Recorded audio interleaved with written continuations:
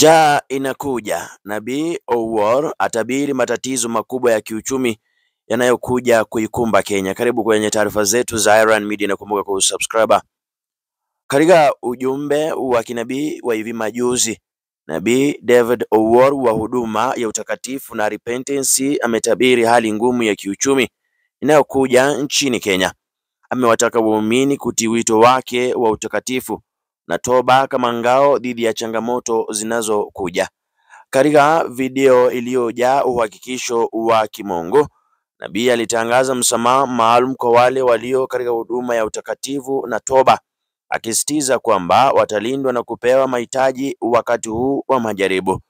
Watu waliobarikiwa, Bwana Mwenyezi Mungu amezungumza nami kuhusu matatizo makubwa ya kiuchumi yanayokuja Kenya na ninataka kutangaza sasa hivi kwamba wale walio katika huduma ya utakatifu na toba wameondolewa katika hilo.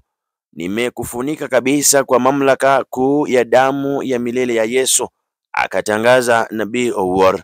Kasisi huyu mashuhuri aliendelea kueleza uhakikisho wa kina kwa wale ambao wamejipatanisha wenyewe na kanuni za uadilifu na utakatifu, akisema kwa ajili yenu mstawi, badala yake utakuwa na uwezo wa kutosha na kuwa na ziada. Nabii aliweka wazi kwamba wale ambao wamejinyenyekeza chini ya mamlaka ya kimungu, chini ya wingu la Mwenyezi Mungu, watapata hatima tofauti na wale ambao hawajajitiisha. Alidai kwamba tofauti hii ingekuwa kipengele inachobainisha kati ya waaminifu na wale ambao hawajakubali mamlaka ya Bwana. Naamuru sasa kwamba kwa wale wote wanaotii sauti hii, walio katika huduma ya toba na utakatifu, ninyi hamtasamehewa. Bwana atakulinda, Bwana atakulinda na kukupa riziki na ziada utakayopokea itatumika kusaidia watu wengine katika wakati huu wa shida. Nabii Owol alitangaza.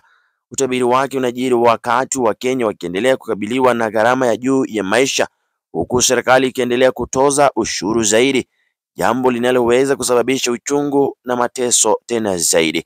Ndizo taarifa za hivi sasa, mtazamaji wangu, naweza toa maoni yako kuhusiana na utabiri huu wa uh, Prophet Owuor kusema mateso yanaenda kukuja Kenya mengi tena zaidi.